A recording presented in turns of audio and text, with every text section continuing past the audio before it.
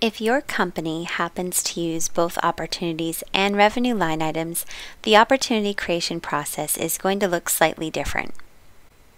Let's go ahead and create an opportunity with some associated revenue line items. I'm going to create a new opportunity by clicking on the Action menu and selecting Create Opportunity. We're going to name our opportunity. I'll also associate it to the account. You'll see that expected close date, likely, best, worst, and sales stage are all read-only. And that's because you'll see that we've got the revenue line item fields here.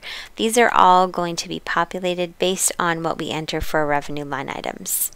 To populate your revenue line item, you're going to go to the product catalog dashlet on the right hand side. I know that these individuals are going to be buying laptops and we're going to pick the TK1000 desktop. You'll see the nice thing here as you use revenue line items and or you favorite any of your products, you're able to easily toggle this dashlet here to select items that you use frequently. I'm going to click on TK1000 desktop and you'll see based on clicking on that product, the revenue line item updated.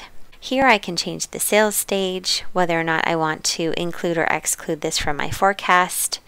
We need to populate an expected close date for this line item. Say this is expected to close on April 9th. And we're also going to update the quantity. Let's say that they're going to be buying 100 laptops here for their sales team. We'll go ahead and update our likely amount. All right, we're going to add an additional line item for the marketing laptops. You can either click the plus sign icon here or you can just select the product that that revenue line item is going to include. So I'm going to click on the TKM30. It's going to add that line item for me. We're going to include this in our forecast as well. And this is actually expected to close a little bit later. And we'll update this to, they're going to be buying 50. We'll update our likely to. And then at this point, I've got my revenue line items populated and I'm going to go ahead and save this opportunity.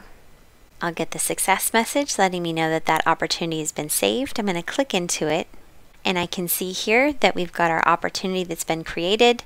It has the expected close date populated based on the revenue line item that is last to close within this opportunity. And then I'm able to see the likely and best case scenarios and the sales stage. Now, as I go through the sales process with underwater mining, I'm able to update these revenue line items independently.